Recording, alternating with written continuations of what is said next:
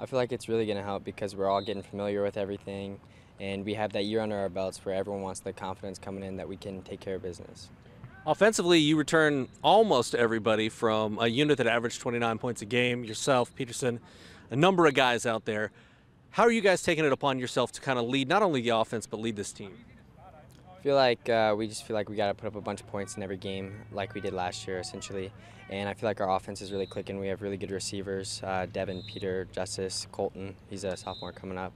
Uh, so I think we'll just be really solid on offense this year. What, what's going to allow you to take the next step? Because obviously you want to build on what you did last season offensively. What's going to allow you guys to be even better this year? Uh, the experience that we gained last year, I think, will help a lot, and uh, just coming into practice every day and working hard. When you take a look at uh, fall camp so far, what's impressed you the most about this Concordia team so far in 2015? Our offensive line, uh, they've really come together as a group this year, and then our offense in a whole really is just looking better than it did last year. Final question August 21st, right around the corner. Um, what is the goal for this team, and what are you needing to work on? What's going to be the biggest focus as you lead up to the 21st?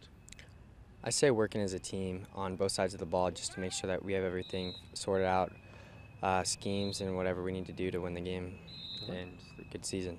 Anything else you'd like to add?